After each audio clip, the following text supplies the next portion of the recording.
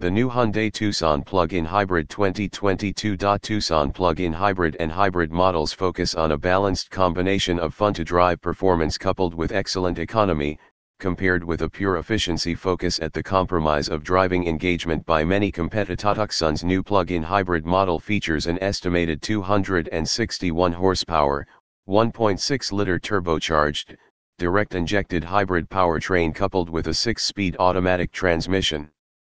The plug-in hybrid battery is larger than the hybrid battery, with 13.8 kWh of power, yielding an estimated all-electric range, air, of 32 miles and estimated fuel economy of 70 mpge. Plug-in hybrid level 2 charging capability is well under 2 hours to recharge the system using a 7.2 kilowatts onboard charger. The plug-in hybrid power plant delivers power through a PHEV-tuned 6-speed automatic transmission for smoothness and efficiency, with an estimated combined fuel economy rating of 30 mpg with all-wheel drive.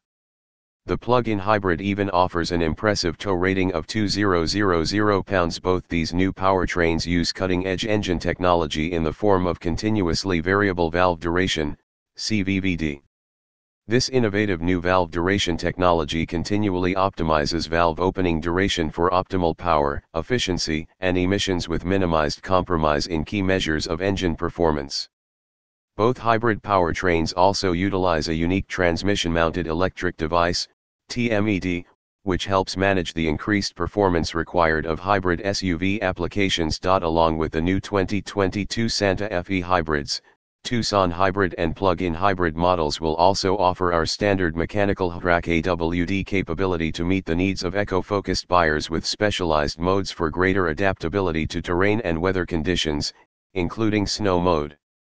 Hyundai's latest HTRAC all-wheel drive systems for the hybrid and plug-in hybrid have been tuned at off-road proving grounds around the world to maximize forward traction capability over a wide variety of surfaces. The driving Performa NCE goal for the Tucson was to create a more pure sense of connection between the vehicle and the driver. Driving dynamics match the sporty exterior design, and the handling package is improved, so the new Tucson is even more agile than the previous generation.